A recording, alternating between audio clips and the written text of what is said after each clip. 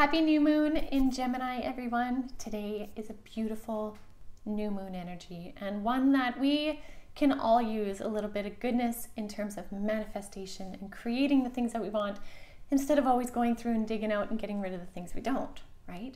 Now, I wanted to share a really kind of cool bonus thing that Spirit shared yesterday in one of my client sessions. And it was the concept of really bringing in the energy of the elements, the earth elements, in your manifestations. In anything that you want to manifest, if you bring in the energies of the elements that are around us on the planet, you will amplify your ability to manifest. And that made a lot of sense to me. And I was like, wow, how did, how did I never think of that before? Leave it to spirit to always teach us, hey. But what I wanted to do is show you guys a little bit of what you can do in a very simple way to bring in those elements when you're, you know, either going into a meditation or simply spending some quiet time by yourself, whether you're reading a book or doing some painting or whatever that uh, quiet, personal, uh, cup filling time is for you. If you're throwing an intent behind that to create an energy of what you want, bring in the earth elements. So I'll show you what I've got here. So this is kind of like a, this is an altar, right? And an altar is basically a collection of things that have an energy for you that represent different things in your life that that amplify your energy.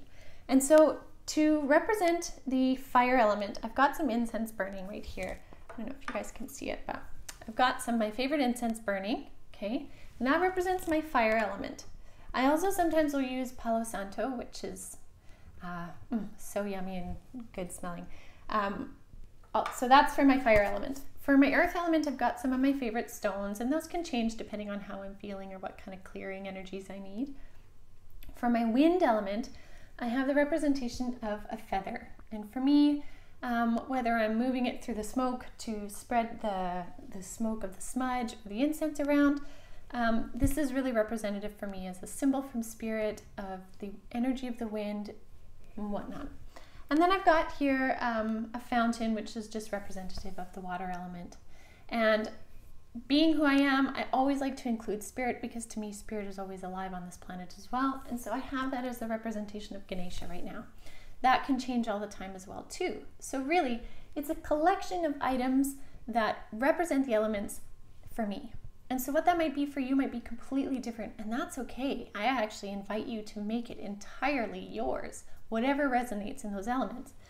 But the idea is when you bring those elements together and you kind of like honor them by placing them all together and you place your intent of what you want and what you wish to create in this 3D world, the energies of those elements will help you to manifest that into reality. So it takes that that power of intent or the secret, all those kinds of things, and it adds like an extra punch with the energetics of the elements available to us on our planet right now. So I encourage you guys to do that. If you're into, you know, manifesting something new for yourself this month, especially in Gemini, it's a great time to do it. Uh, take the extra time to make those elements available to yourself today. Today is the day. So I encourage you guys, manifest, create that goodness. I'm going to do the same. And uh, we'll see how it goes. Happy new moon.